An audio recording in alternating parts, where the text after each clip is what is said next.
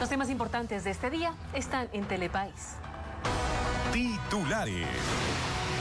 Presunto violador. La policía aprendió a un hombre de 19 años. Es el principal sospechoso de haber vejado de una niña de 12 años. Bebé abandonada. La madre que dejó a su recién nacida dentro de una bolsa en la puerta de una casa dice estar arrepentida. Tragedia familiar. El esposo de Cecilia Mamani lucha para que su compañera y madre de sus hijos salga del coma y regrese a su hogar. Magistrado en la mira. Diputadas le advierten a Orlando Ceballos que si no renuncia al cargo, le iniciarán un juicio de responsabilidades.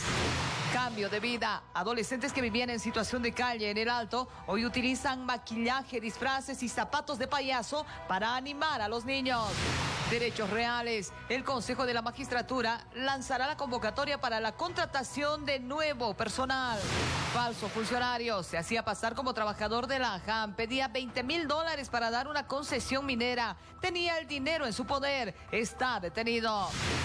Anulan convenio. Choferes buscan nuevas formas para acceder a la atención de salud tras la decisión del gobierno de anular la transferencia de 20 centavos de Vías Bolivia.